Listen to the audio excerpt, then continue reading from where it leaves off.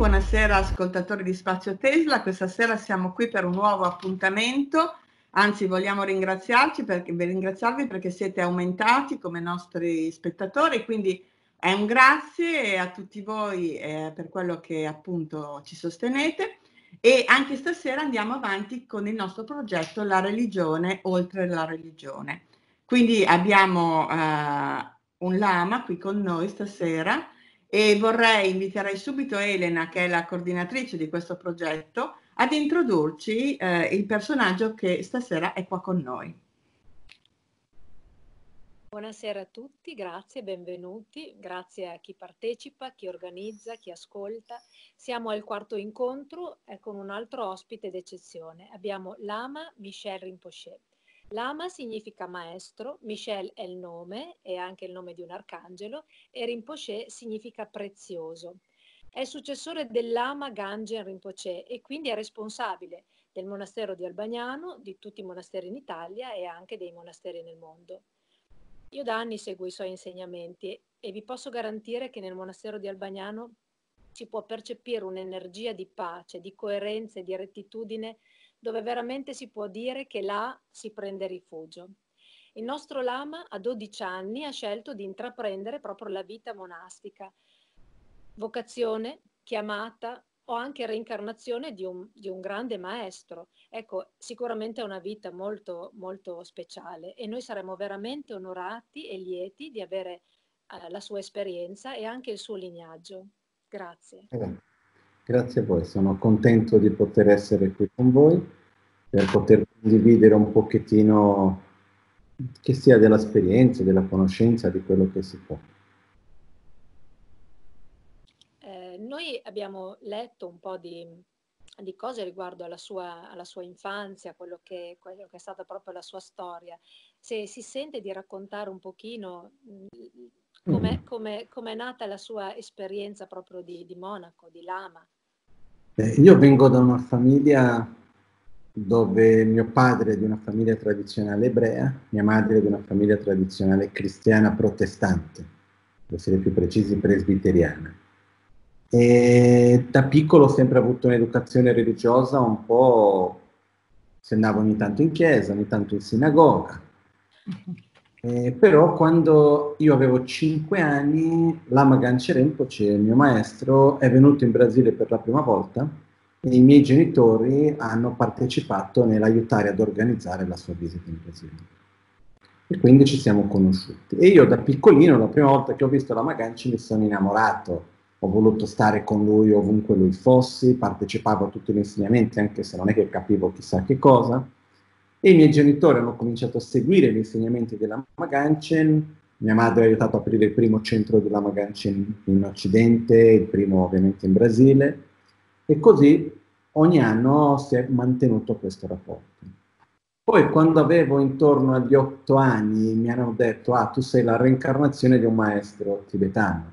Questo è la Ganchen e altri maestri. E la mia risposta è sempre stata grazie Tanto io sono e sono sempre stato un po' scettico, nel senso che io non sono uno che lì a mistificare troppo le cose.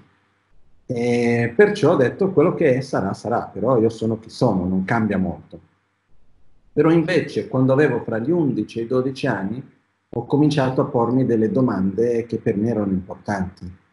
E la domanda principale che io mi mettevo era, ok, sono qua, vado a scuola, io vengo da una famiglia benestante dove non mi è mai mancato nulla, e la domanda era studio, matematica, geografia, portoghese in Brasile, eh, tutto quello che si studia a scuola, per che cosa? L'unica risposta all'epoca che ho trovato è studio tutto questo per finire la scuola, andare all'università e se tutto mi va bene, trovare un lavoro che mi piace e guadagno bene.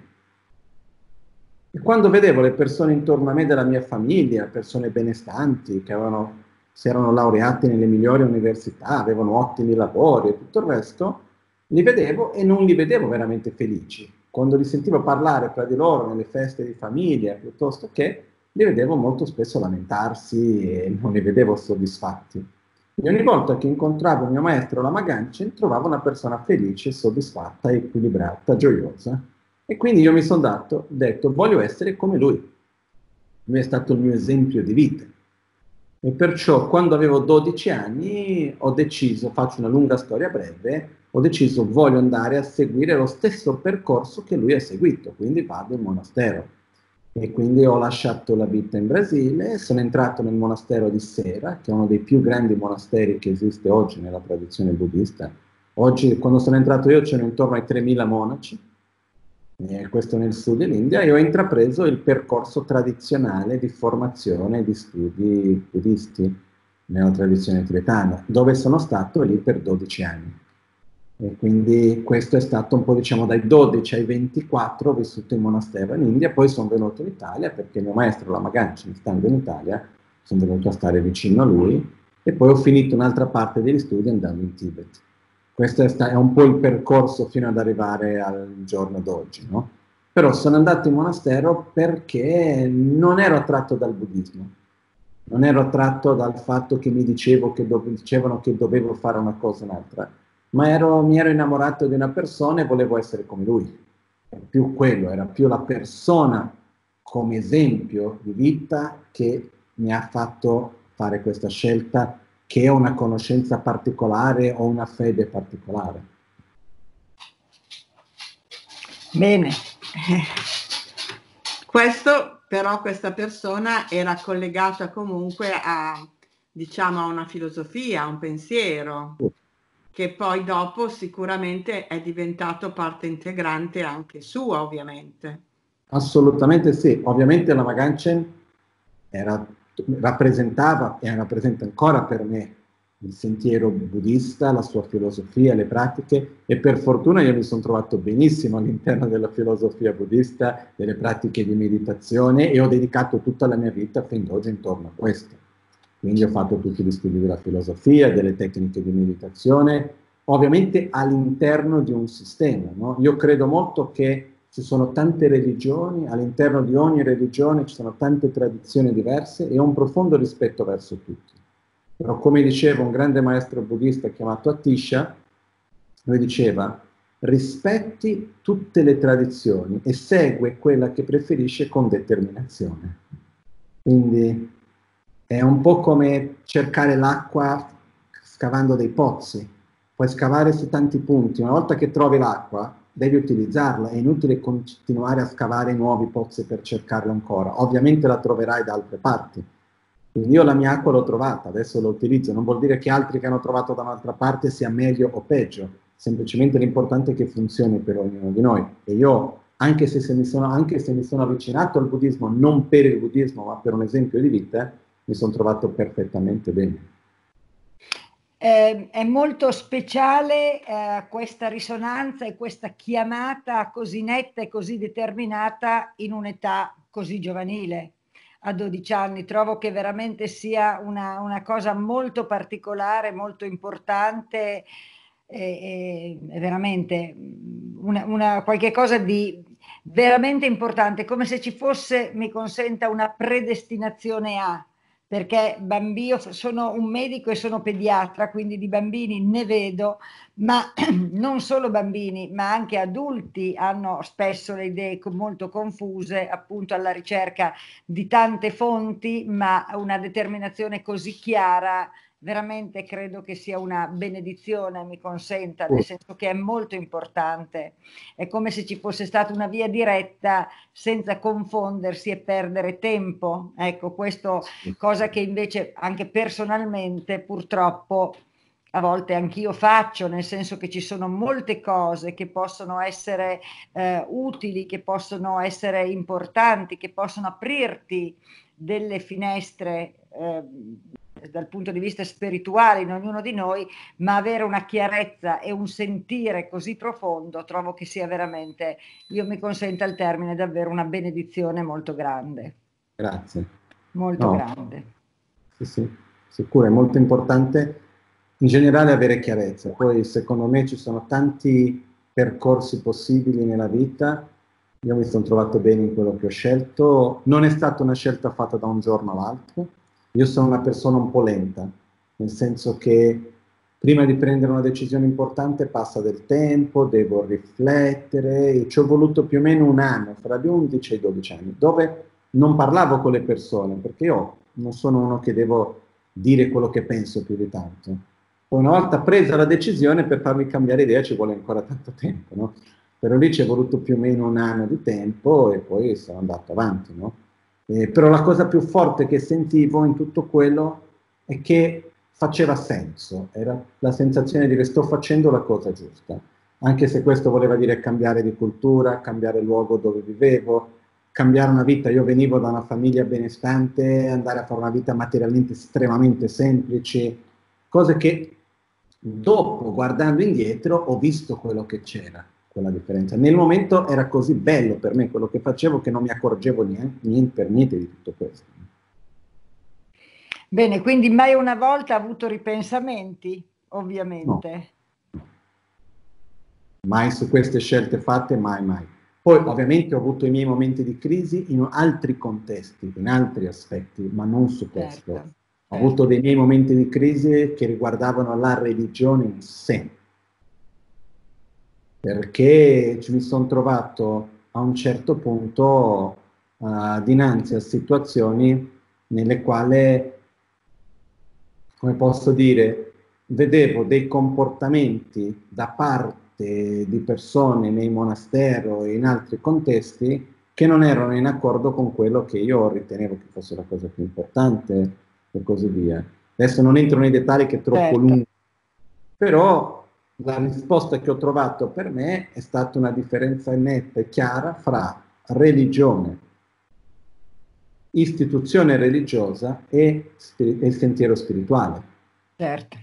Il sentiero spirituale è il percorso interiore di ognuno di noi, al quale la religione è lo strumento che viene utilizzato a servizio del sentiero spirituale e l'istituzione religiosa è uno strumento utilizzato per mantenere in vita la religione stessa.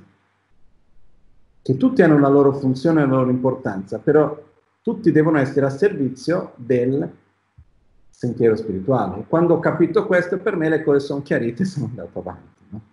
Perfetto, grazie, grazie ancora. A proposito di crisi, allora io direi che siamo in un momento di crisi dove tutto è in crisi. La nostra fede cristiana, io appunto ho delle radici, noi abbiamo radici cristiane, ci hanno sempre chiesto e ci chiedono tuttora di avere fede, ma la mm. fede da sola sembra non bastare, o meglio, potrebbe anche essere un superpotere, se abbinato però a un percorso di autoconoscenza. E seguendo anche i suoi insegnamenti ho visto che proprio la tradizione buddista dà degli insegnamenti, degli strumenti concreti permette all'uomo di, avere, di, di, avere, di fare un'azione, un'azione concreta e di responsabilità per uscire dal dolore. Il Buddha dice c'è il dolore, ma vi do gli strumenti per uscirne. No? Non Come? si può soltanto dire dico un'Ave Maria, perché dico un'Ave Maria e continuo a fare la vittima della situazione, non esco più. No? È come se fosse un paradigma obsoleto.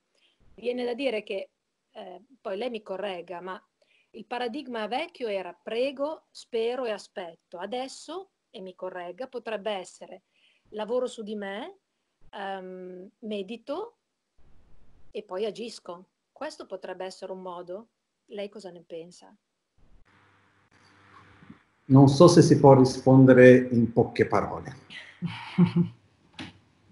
Prima di tutto c'è una differenza importante, sono tante differenze e tante similitudini fra le varie tradizioni religiose.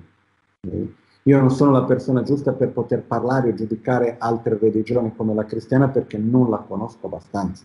Non ho mai avuto una formazione giusta. Però una cosa che mi sono accorto è che qualunque religione, dal momento nel quale c'è un approccio di massa,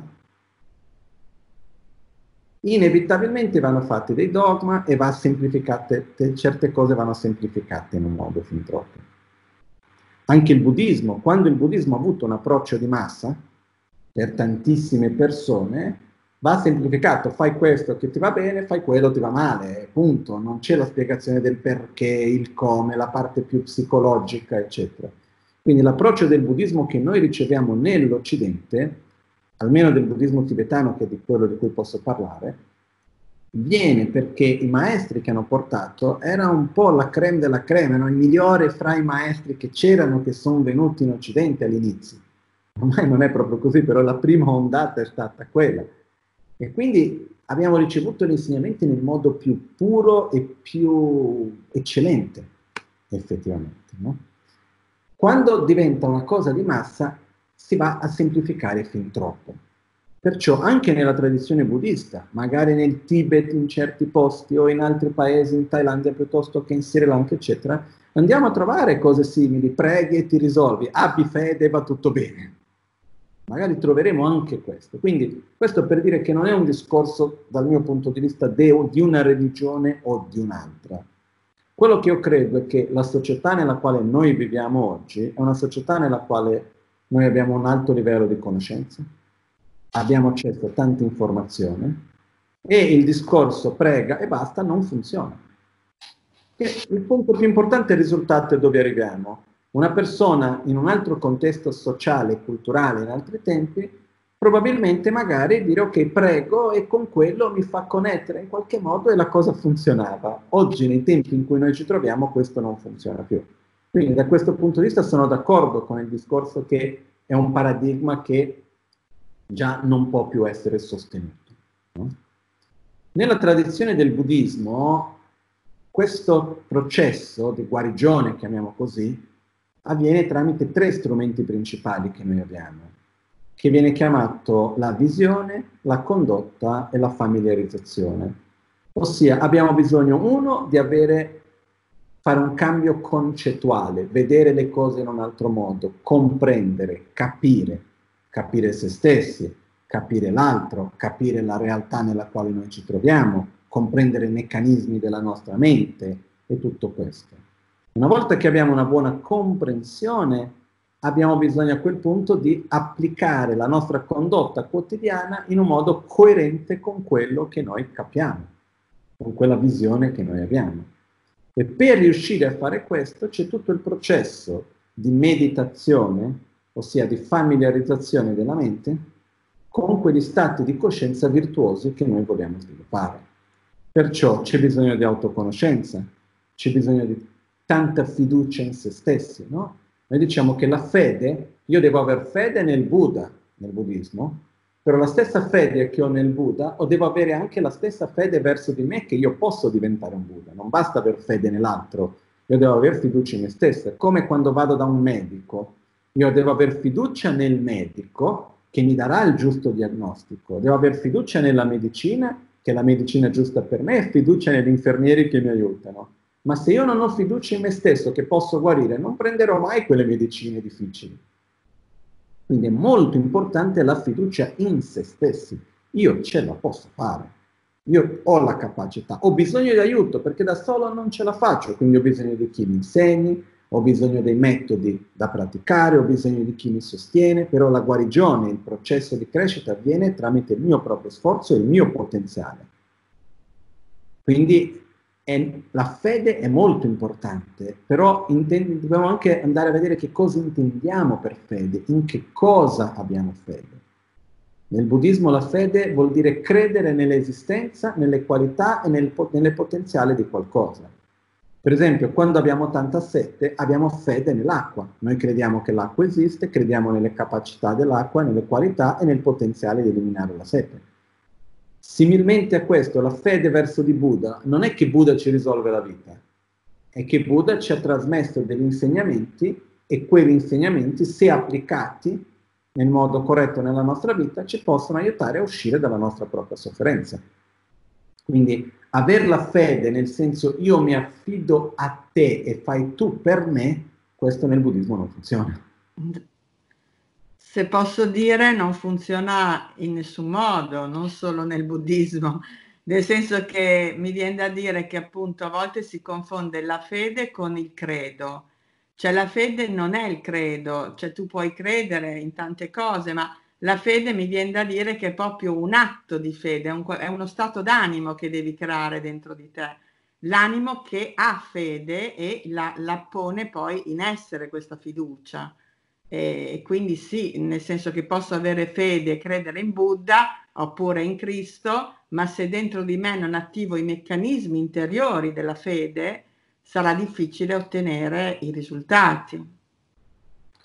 Questa fiducia è molto importante aver fiducia in se stessi, aver fiducia che le cose potranno andare bene, aver fiducia che noi possiamo risolvere i problemi, che le malattie si possono guarire, che le cose possono andare bene, questa fiducia io credo che sia molto importante. Poi ovviamente questo va connesso che una volta che io metto un obiettivo, c'è tutto il percorso necessario e io faccio parte di quel percorso, no? Questo è importante. Vede, noi abbiamo voluto questi incontri con i grandi esponenti di grandi tradizioni proprio perché abbiamo cercato di connettere. No? Mi ricordo quando Panicar diceva che più che religione parlerebbe di connessione, connessione con tutto l'infinito che è anche Dio.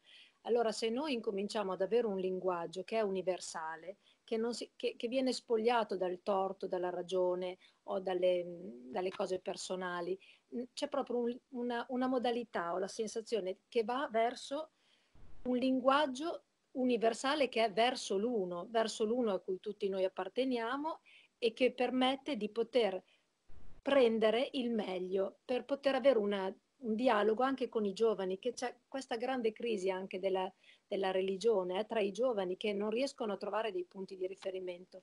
Se in questa sorta di divisione che c'è nella politica, c'è nelle persone, se almeno tra persone che parlano d'amore, che parlano di aiuto, che parlano di crescita, c'è un linguaggio comune, si dà anche più fiducia. Io ho questa sensazione. Perché ci sia l'unione, una delle cose importanti è che ognuno, che rappresenta una religione piuttosto che un'altra, abbia molta fiducia anche nel proprio percorso. Perché io mi sono trovato con persone di religione molto diverse e ogni volta che io mi sono trovato dinanzi a persone che avevano molta fiducia e stavano molto bene nel loro proprio percorso, nella loro propria tradizione di appartenenza, non hanno mai avuto paura dell'altro o difficoltà di confrontarsi con l'altro, ma al contrario, piacere, perché quando io sto bene con, con me stesso, dove io sono, e io vado a incontrare qualcuno che ha degli aspetti diversi, quello va a rafforzare me stesso, mi va a arricchire, e però è molto importante che chi in qualche modo rappresenta una tradizione spirituale, no? nel mio caso mi trovo a parte rappresentare una tradizione spirituale, è importante che fra di noi ci dobbiamo parlare e dobbiamo più che parlare sederci e mangiare insieme, dobbiamo far vedere che in realtà noi non abbiamo problemi fra di noi perché in realtà non ci sono problemi fra di noi. Questo è molto molto chiaro e noi abbiamo bisogno di questa unione, però per me anche la crisi che parla dei giovani. No? Una cosa importante è che tante persone hanno perso un po' il senso del perché della religione. Uno fa fatica a capire ma che cosa mi serve. Viene vista in certi casi più come un qualcosa che vada a limitare che a uno strumento per aiutarci. Però un, è, è fondamentale comprendere che la spiritualità non è una scelta, non è un in più, è una necessità dell'essere umano. Poi, se uno vuole seguire una religione o meno, è una scelta, però la spiritualità è una necessità. Io per spiritualità intendo dire il percorso interiore di sviluppo delle nostre qualità, quelli che trascendono la materia. E questa è una necessità che tutti noi abbiamo. E quindi questo è un punto che secondo me va sempre di più condiviso e poi va lasciato aperto. Uno che vuole sviluppare l'amore tramite una religione piuttosto che tramite un'altra o senza dover affidarsi a una religione in particolare va benissimo. Io dico, io non ho nessun attaccamento che, di vivere in un mondo buddista. Non voglio che il mondo sia un mondo buddista, neanche che l'Italia o il piccolo paese dove vivo sia un paese buddista. Però io ci tengo tanto che sia un mondo dove ci sia più rispetto, più gratitudine, più amore, più soddisfazione e così via. Questo assolutamente sì. Ed è un ruolo, secondo me, dalle, delle religioni di dare importanza a quello che trascende la religione stessa.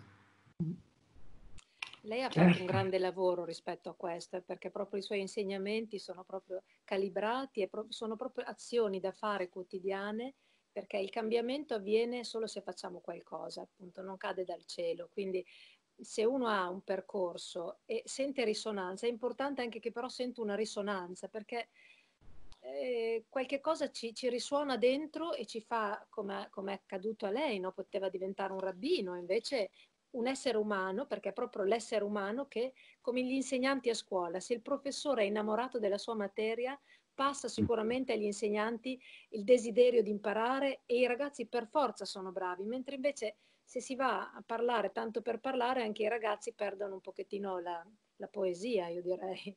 Quindi il suo insegnamento così costante e anche con una metodica e, e, la, e, la, tradizione buddista ha proprio un metodo che è quasi, sì, direi razionale, proprio ti dà degli strumenti, mettili in pratica e ti aiuta a uscire da questa sofferenza.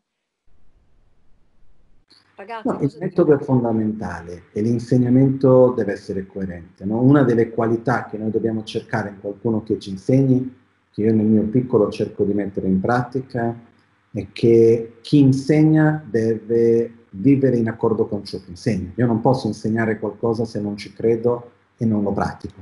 Questo è un discorso. Poi il secondo discorso che viene insieme è a livello mio personale di come fatto. Io non mi ritengo una persona religiosa inteso come la religione in sé per sé. Per me la religione in sé per sé non ha un grande valore. Quello che ha il valore è come uno strumento per qualcosa che vale molto di più. E quindi quando mi trovo davanti a una persona, io non ho l'intenzione che questa persona sia buddista. Ho l'intenzione che questa persona possa avere una visione più coerente del mondo, che questa persona possa riuscire a relazionarsi meglio con, sue, con, la sua famiglia, con i suoi amici e trovare più senso nella sua vita, che questa persona riesca ad essere più generosa, che riesca ad essere più in pace con se stessa. Poi, se lo vuole fare tramite gli strumenti che il buddismo offre, che io posso condividere, con grande gioia si fa questo, no? Però è molto importante che quando noi ci troviamo a dover parlare alle persone, dobbiamo sempre ricordarci che noi siamo qualcuno che è a servizio di chi ascolta. Questo è fondamentale, perché se io parlo a qualcuno e io in realtà sto parlando a me stesso, personalmente preferisco star zitto. Certo. Ma se io invece sto parlando a qualcuno, io devo dare priorità a chi ascolta e alle loro necessità e devo cercare di vedere come posso trasmettere qualcosa che sia utile e di beneficio a loro. Quindi quello che dicevi prima di fare le cose pratiche, eccetera, perché la vita è fatta di cose pratiche, è fatta della quotidianità, è fatta delle, delle piccole situazioni con la famiglia, nel lavoro, delle nostre piccole menate piuttosto che cose bellissime che abbiamo, no? Però dobbiamo proprio andare su questo. Poi io ho studiato la filosofia buddista in un modo molto tradizionale, molto mh, accademico, volendo dire così anche, no? Però se io dovessi insegnare oggi nello stesso modo come io ho studiato, sono sicuro che alla fine si rimangono in tre ad ascoltare. il contesto è molto diverso e il mio obiettivo non è avere mille, il mio obiettivo è dare qualcosa che sia utile alle persone. Tutto lì. Quindi un insegnamento che va costantemente concretizzato, questo credo che sia nella vita quotidiana di tutti i giorni, negli incontri che facciamo, in quello che facciamo perché molto spesso appunto perdendo un po' il senso di quello che è la vita quotidiana, ci si chiede appunto ma perché faccio questo, perché vado al lavoro tutte le mattine, quindi c'è anche una sensazione molto spesso di peso per chi non ha una certa consapevolezza. Quindi non so se può aiutarci in poche parole, qual, se c'è appunto un, un mezzo, un modo per trovare senso in quello che facciamo ogni giorno quale frase dobbiamo ricordarci, a quale parte dobbiamo connetterci, se è possibile farlo in... Cerco di farlo in un modo breve. Grazie. Tutto, una volta che noi scegliamo di seguire un sentiero spirituale, non si può discernere, fare la divisione fra pratica spirituale, lavoro, famiglia, divertimento, non esatto. si può. discorso spirituale va vissuto in ogni manifestazione della nostra vita. Questa è una cosa. E dov'è che va vissuto principalmente il, il sentiero spirituale? Nella famiglia, nel lavoro. Quando uno va in chiesa, quando uno va al tempio, quando uno si siede per pregare o per meditare, quello è il momento in cui andiamo a dare una forza in più, andiamo a, a connetterci, è come andare a fare benzina però il, la vera pratica è in tutto il resto. Perciò uno dei, uno dei punti che aiuta a comprendere questo meglio è che la cosa importante nella nostra vita non è tanto cosa facciamo, ma è ancora più importante come lo facciamo. No? L'ultima volta lezione che stavo dando facevo l'esempio nel lavoro come fare in modo che il proprio lavoro faccia parte di un sentiero spirituale. Per fare un esempio banalissimo, una persona può essere un medico, come lei, ed è un lavoro molto nobile, perché il medico con la giusta consapevolezza ha dinanzi a sé uno strumento per anche lo sviluppo spirituale meraviglioso, perché ha una possibilità di mettere in atto l'amore, la consapevolezza verso l'altro, la compassione messa in pratica, aiutare gli altri, può fare tante cose molto belle. Però ancora questo non dipende del lavoro, dipende come viene fatto. Perché se uno come medico arriva il paziente e vede come soldi in più che entrano in tasca e niente di più, niente di meno, quel lavoro non è più nobile dal modo in cui viene fatto. E prendiamo un altro lavoro che magari ho sempre, sempre penso a questo lavoro come un lavoro che a principio mi sembra un po' senza tanto senso, che però si può dare un senso. Quello per esempio di chi lavora al, no, al casello autostradale. Tutti i giorni a lì a dare un ticket a qualcuno a prendere i soldi per far passare la persona. Può sembrare il lavoro più privo di senso possibile da un certo punto di vista. Ma se mentre sono lì Cerco di avere consapevolezza del momento presente, ogni persona che passa cerco di desiderare il meglio per quella ovunque tu stia andando, che il tuo viaggio vada bene, desidero che tu sia felice. Io vado a coltivare amore mentre sto facendo quel lavoro lì. Quindi l'importante non è cosa facciamo, ma come facciamo. E come noi facciamo è importante in relazione a quelle azioni quotidiane quale qualità o quali aspetti interiori vanno a familiarizzare, a coltivare, a sviluppare.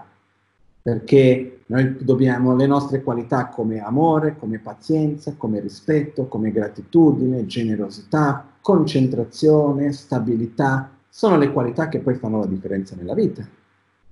Certo. E queste noi li dobbiamo coltivare nella nostra quotidianità, nel rapporto con la famiglia, con gli amici, con il lavoro e tutto. Perciò se noi riusciamo a vedere la vita in generale come una sorta di palestra per sviluppare le nostre qualità, dicendo in parole povere, per la palestra per diventare un essere umano migliore,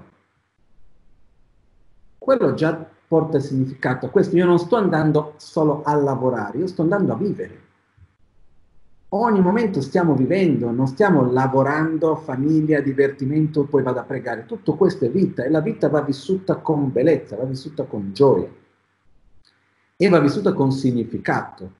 Per me ogni incontro no, della nostra vita, ogni luogo che andiamo, ogni situazione che viviamo è un'opportunità che possiamo o meno cogliere per sviluppare delle qualità o sviluppare di più ancora delle cattive abitudini. Dipende come io vado a reagire, come vado a relazionarmi in una situazione piuttosto che in un'altra. Quindi questo per me è molto importante per ognuno di noi di prendere questa consapevolezza, ma per riuscire a fare questo bene è molto importante avere una visione di se stessi verso il futuro in cui uno dice cosa io voglio essere, come vorrei essere io un domani. Ah, io voglio essere più paziente, voglio essere più rispettoso, non voglio più reagire con invidia o con gelosia piuttosto che. E dinanzi a questo andiamo a lavorare su queste cose ogni giorno, in ogni opportunità che abbiamo. E questo cambia il modo di vivere la vita. Perché quello che determina se una situazione è significativa o no non è la situazione in sé per sé, ma è come noi stessi la viviamo.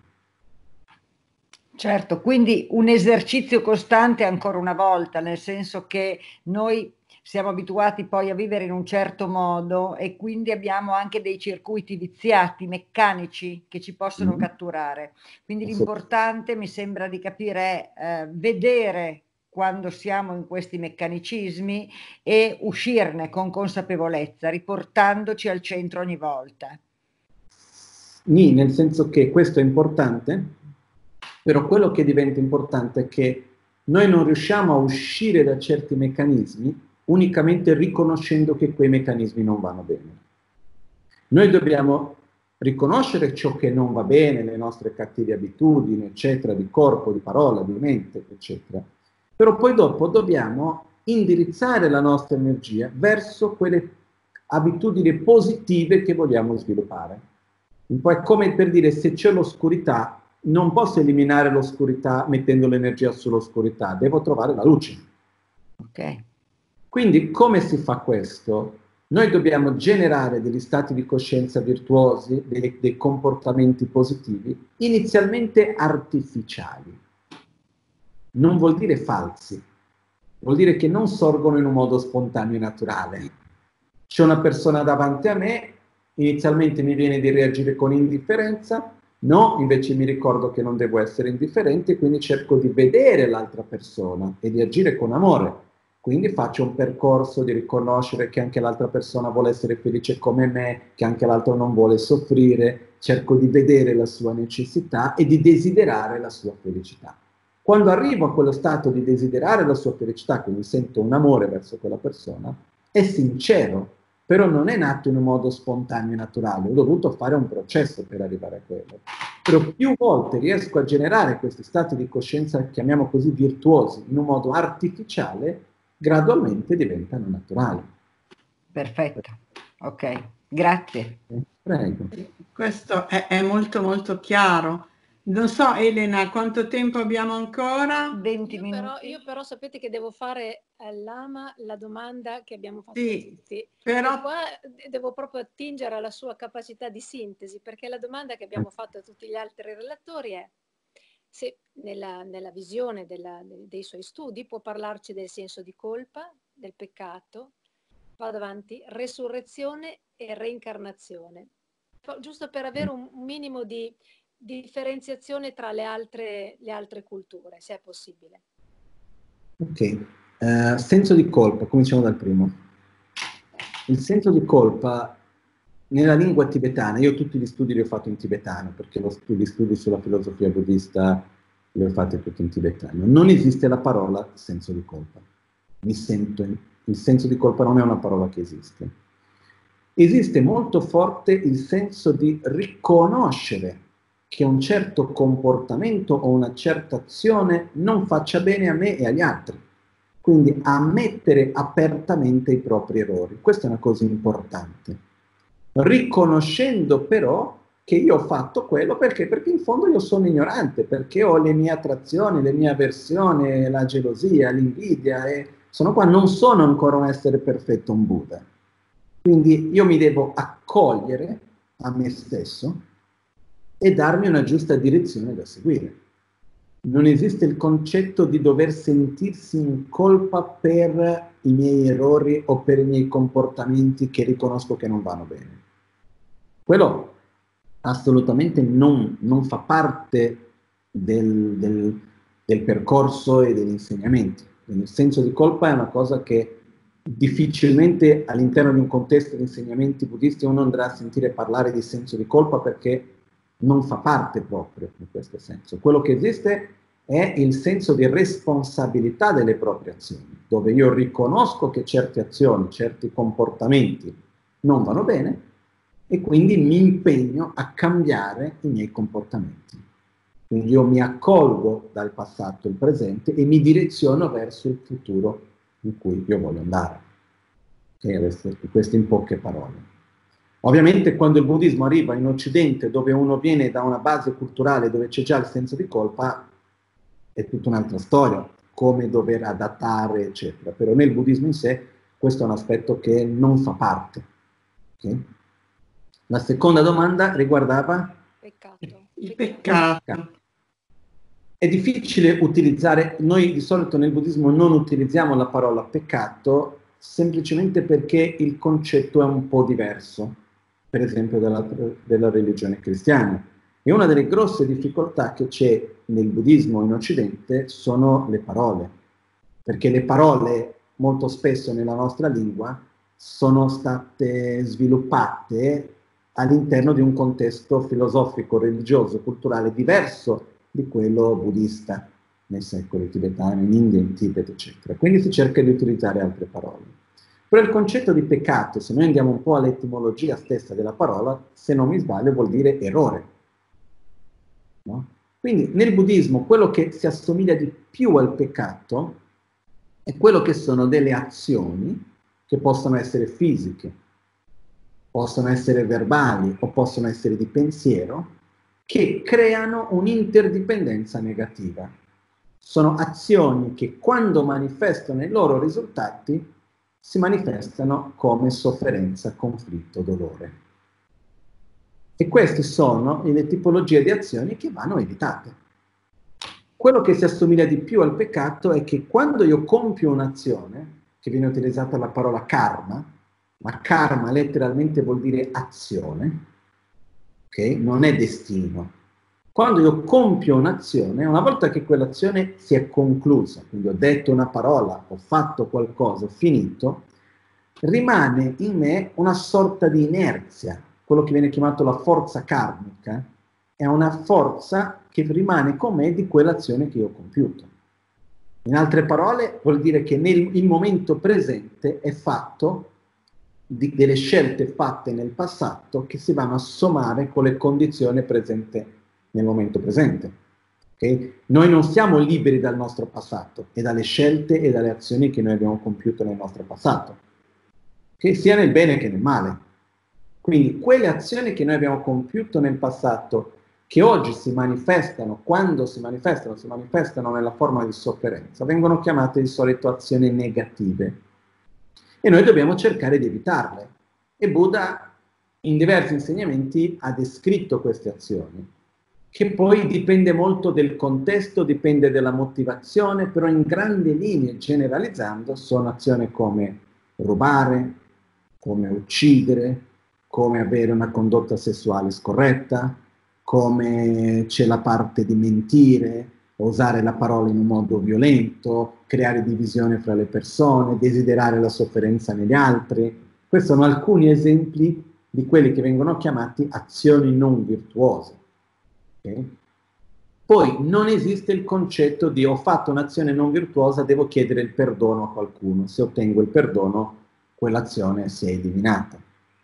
Esiste un processo di purificazione, ossia se io ho compiuto un'azione che è nella sua natura negativa, perché l'ho compiuta con rabbia, con odio, con invidia, con gelosia, ho generato sofferenza negli altri, ho compiuto un'azione che ha generato comunque conflitto e tutto il resto, quella forza karmica rimane com'è. Io per eliminare quello devo, uno, avere la consapevolezza che quell'azione era un'azione sbagliata. Quindi questa è la prima parte che è un po' di pentimento in qualche modo, che vuol dire sviluppare una consapevolezza che quell'azione non andava fatta, che è stato un, un errore in qualche modo. Poi la cosa più importante è che io devo generare un forte impegno a non ripetere più quell'azione. E poi terzo, devo fare qualcosa di positivo per contrastare quella cosa negativa che ho fatto nel passato. Questo è il modo in cui si può purificare. Okay? Quindi adesso il concetto di peccato vuol dire noi viviamo in una realtà interdipendente dove ogni azione che noi compiamo non finisce in se stessa e noi siamo responsabili per ciò che noi stessi viviamo. Quindi se agiamo in un modo che va a creare un'interdipendenza positiva ci viene meglio, se agiamo in un modo che va a creare un'interdipendenza negativa viviamo i suoi risultati. È questo principalmente. Ok?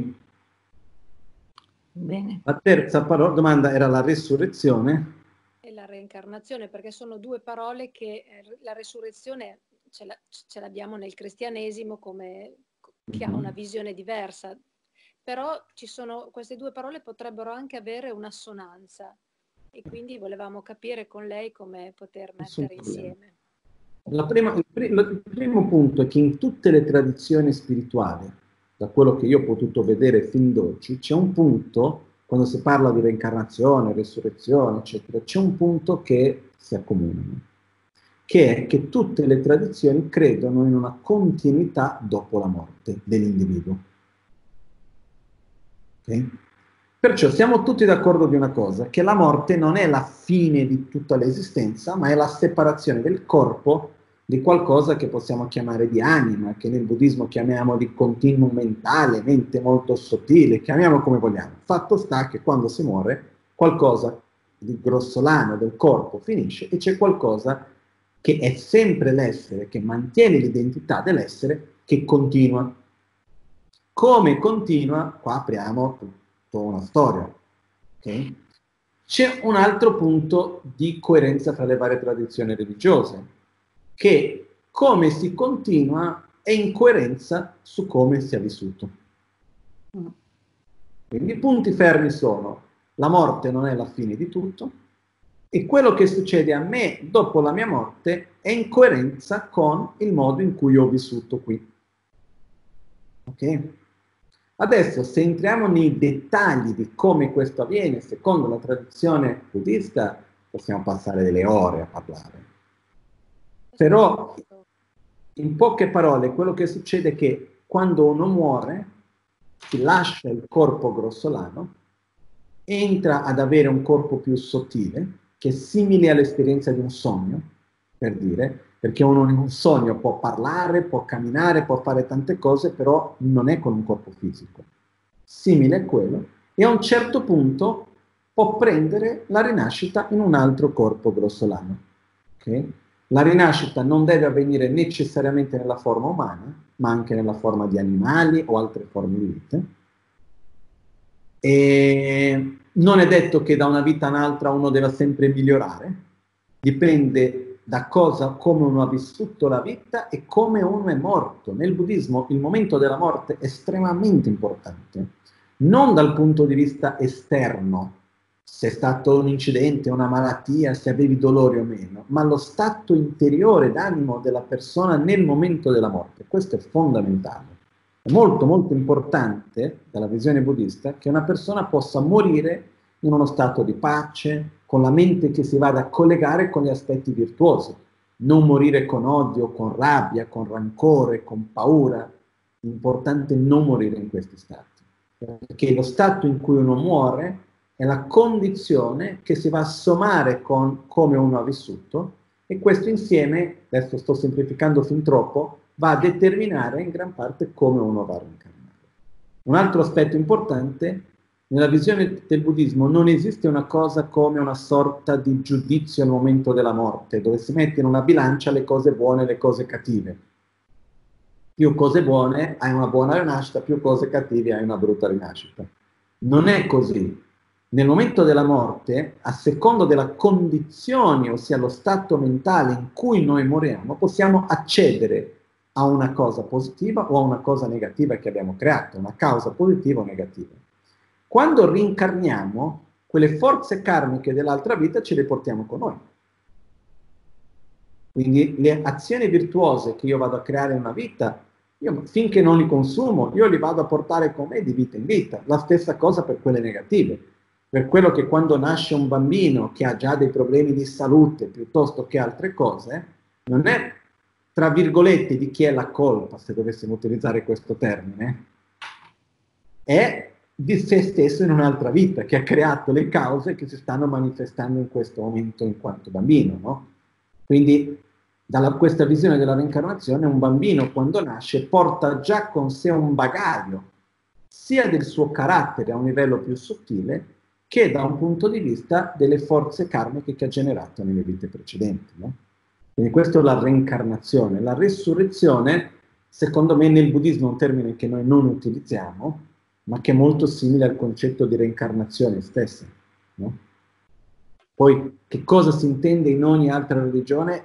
Io sono la peggior persona per poterne parlare perché non ho una conoscenza giusta su questo. No? Però secondo me il punto fondamentale su questo è la consapevolezza che c'è continuità dopo la morte. Questa è una cosa. La differenza principale, magari che potrei anche dire, è questa. Nella visione più occidentale, anche religiosa, abbiamo una visione lineare, dove c'è la nascita, punto A, c'è la morte, punto B, e poi dopo ci può essere il punto C, paradiso, inferno. Però è lineare, nella visione orientale, buddista, per esempio, ma non solo buddista, è una visione ciclica nella quale c'è il punto A che è la nascita, c'è il punto B che è la morte, però i due punti si incontrano e dopo il punto B ritorna il punto A. Quindi è una realtà ciclica, continuamente. La differenza è che in una realtà lineare la cosa importante è cosa faccio. In una realtà ciclica la cosa importante è chi divento. Perciò nella visione buddista non è importante cosa ho fatto in questa vita, la cosa importante è che sono morto una persona migliore di quella che è nata. Questo è il punto più importante alla fine, è chi sono diventato più di che cosa ho fatto. Fino a è, c'è una conclusione di questa ciclicità? Ecco.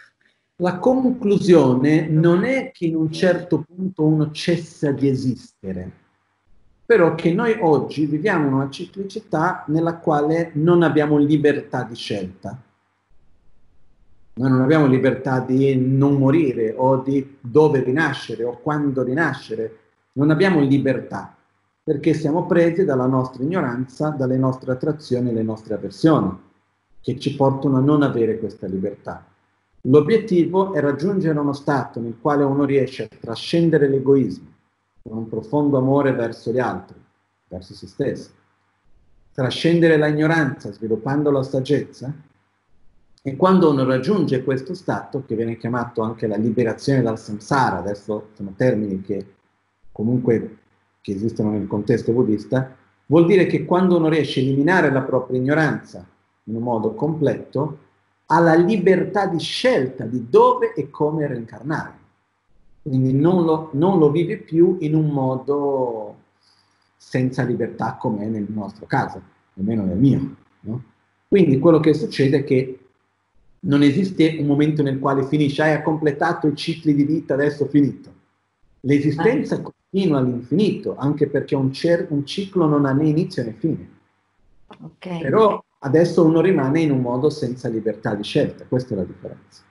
Ok, chiarissimo, grazie. L'altro punto su questo, che è una differenza fondamentale dal buddismo da altre tradizioni, è che la domanda dove è tutto cominciato nel buddismo non si fa, perché prima di chiedere dove è stato l'inizio di tutto si deve fare un'altra domanda, c'è stato un inizio o no? Mm-hmm, certo. Secondo la visione buddista no, perché se ci fosse stato un inizio dovremmo trovare qualcosa che sia stato una causa, ma che a sua volta in se stesso non è stato un risultato. Una causa primordiale in questo senso. E nel buddismo tutto ciò che causa è anche risultato. Quindi non si riesce a trovare un inizio primordiale dell'esistenza, è come un ciclo che non riesce a dire cominciato qui. Ok, mentre nella visione cristiana la resurrezione la, cioè ce la immaginiamo, ce la raccontano anche come eh, un completamento di un ciclo più materiale dove lo spirito si incarna, ma in una visione di puro spirito, dove c'è una compenetrazione con l'uno totale. Questa è un po' la visione che noi possiamo avere di resurrezione. Invece mi pare che appunto a livello mh, nel buddismo appunto c'è continuamente o senz'altro una maggiore consapevolezza, ma comunque una continua compenetrazione di questo spirito con una parte più materiale. Non necessariamente. Quello che succede è che quando un essere riesce a uscire dal ciclo del samsara, dal ciclo di sofferenza, questo essere può scegliere se vuole manifestarsi a un livello materiale o meno. Ok, Ok. Questo, un, è, questo dipende dalla scelta dell'essere stesso. Ok, ok. Grazie, grazie mille. Mm. Prego. Facciamo l'ultima, l'ultima domandina, ma è domandina. Io ricordo una sua frase che mi ha fatto sorridere, dice noi sappiamo che moriamo ma non ci crediamo. E mm-hmm. infatti abbiamo questa idea eh, nel, nella nostra cultura occidentale, non abbiamo proprio la capacità di ragionare sulla morte, meno che meno morire.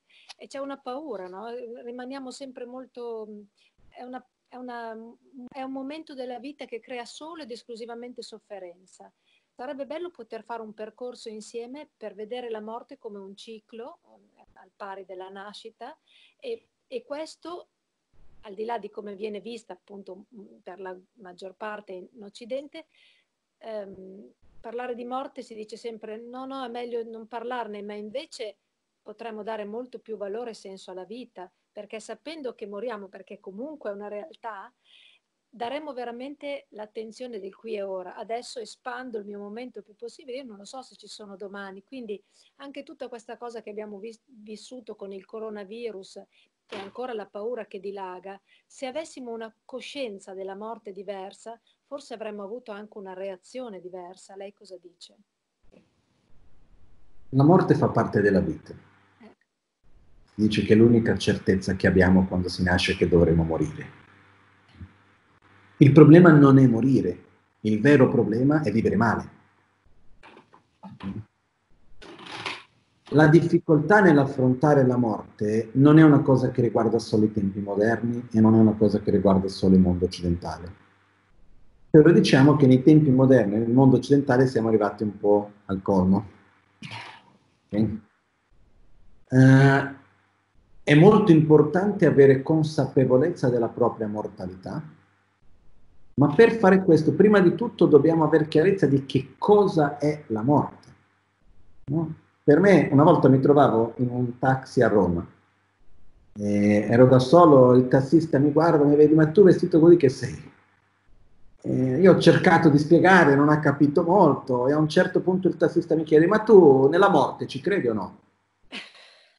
E ho detto, che domanda strana, no? Uno ti chiede se tu credi nella morte. Io ho risposto a lui dicendo, ma che cosa intendi tu per morte? Lui mi ha guardato ancora più strano e poi ho detto, se la morte vuol dire la fine di tutto, io non credo nella morte, se la morte è un passaggio, io credo nella morte. Però dobbiamo chiederci prima di tutto che cosa è la morte. Perché la morte di cui noi abbiamo tanta paura è la morte come la fine di tutto. E dinanzi a questa visione di morte, noi finiamo a vivere la vita basandoci su un'identità che è molto limitata a questo corpo, a questa immagine, a questa realtà fisica in cui noi ci troviamo in questo momento. E quindi è ovvio che porta paura il senso di non esistere più, cess- cessare di esistere, eccetera. Perciò è importante riuscire a trascendere questo sviluppando un'identità che va al di là che non è ovvio, c'è tutto un percorso per farlo, nel buddismo c'è tutta una parte strumenti per fare questo, no? Però si dice che un praticante buddista dovrebbe farsi una riflessione almeno una volta al giorno sulla morte. Io la faccio con quattro domande. La prima domanda è, dovrò o no morire? Sembra banale, però la risposta deve venire dal, dal cuore, dalla pancia, non dalla testa. Sì? Di solito sì, dovrò morire, però rifacciamoci la domanda finché abbiamo la totale certezza, sì, dovrò morire. Seconda domanda, quando? La vera risposta? Non lo so. Però non lo so che comprende il giorno d'oggi o non lo so fra 30 anni. Dobbiamo un attimino vedere con noi stessi finché arriviamo a un non lo so che comprende il momento presente, che comprende il giorno d'oggi e che non è mentale, io lo sento questa certezza dell'incertezza del momento della morte. Terza domanda, cosa porterei con me se io dovessi morire oggi? Chi sarei io dinanzi alla morte in questo momento oggi? Chi sono io dinanzi alla morte? Vuol dire quali sono gli aspetti che trascendono la morte, il mio carattere, i miei aspetti più profondi del mio essere, la forza karmica che porto con me. Chi sono io togliendo di mezzo il corpo, togliendo di mezzo i beni materiali, le persone che ci stanno intorno, togliendo di mezzo tutto quello che è esterno a me, incluso il corpo, incluso il livello di conoscenza concettuale. Quindi a un livello più profondo chi sono. E la quarta domanda è cosa sto facendo oggi per coltivare ciò che porterò con me, per prendere cura di ciò che porterò con me. E l'altra parte della domanda prima era cosa porterò con me e cosa lascerò agli altri. Quindi io nella giornata di oggi cosa sto facendo per migliorare ciò che porterò con me e per migliorare ciò che lascerò agli altri? E se noi viviamo con questa consapevolezza, la vita si vive molto meglio e ogni giorno ha un valore diverso, ha un gusto particolare, ha un peso totalmente diverso. Certe cose hanno più importanza, altre cose hanno un'importanza molto minore di quello che noi diamo di solito. Perciò una persona che vive bene muore bene. E per vivere bene dobbiamo essere consapevoli della nostra morte, secondo me. Quindi la mortalità è un bene, non è un male. La morte non è qualcosa da quale dobbiamo temere, tanto perché non c'è scelta. Quello che noi dobbiamo più che altro temere è vivere la vita male, vivere una vita priva di senso, vivere una vita nella quale noi moriamo una persona peggio di quella che è nata, dove non siamo riusciti a cogliere l'opportunità che ci è stata data. Questa è la cosa importante. E sicuro, se noi avessimo più consapevolezza della morte, avremo un, modo totalmente diverso di relazionarci anche con la morte da un punto di vista più pratico, daremo più valore a prendere cura delle persone che stanno morendo, non aver paura di parlare della morte, anche in ospedale non vedere la morte come una, um, una sconfitta. La morte non è una sconfitta. Vivere male sì, la morte no. Quindi è una cosa che va accolta e va guidata e va direzionata e va aiutata. E tutti noi dovremo prepararci per la nostra morte, perché prima o poi accade. È l'unica cosa certa, dicono, no? Quindi... Assolutamente sì.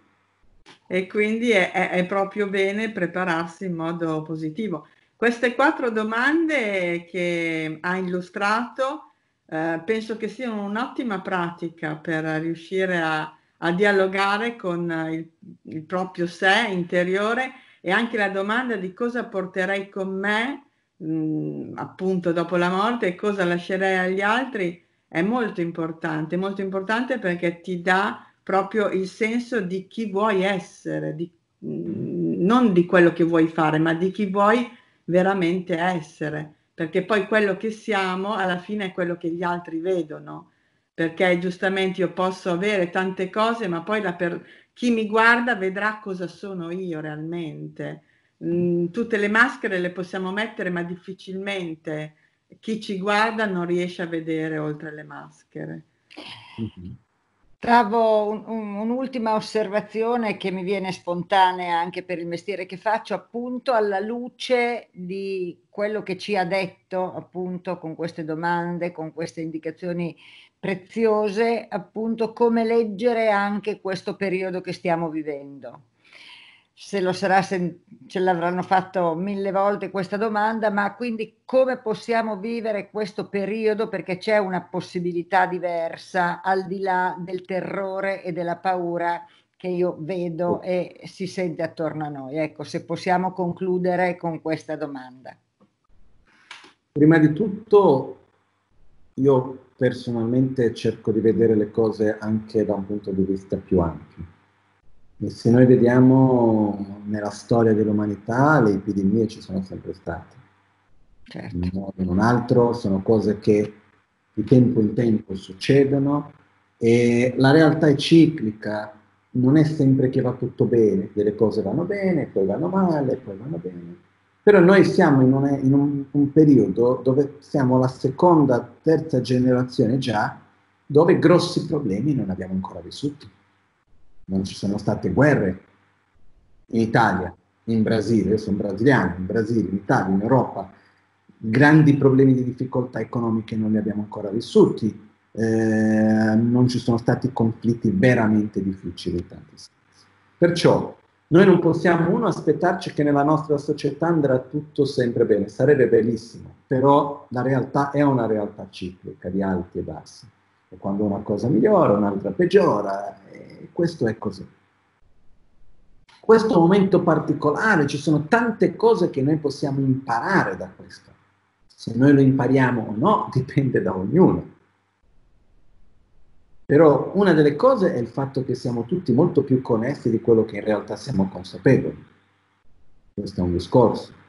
C'è il discorso della fragilità dell'umanità, che in realtà basta poco per metterci in ginocchio che allo stesso tempo la cosa più importante che ci aiuta in questo è il rispetto che uno ha verso l'altro, è l'unione che c'è tra le persone e anche la nostra propria resilienza, la nostra capacità di affrontare le difficoltà, molto importante.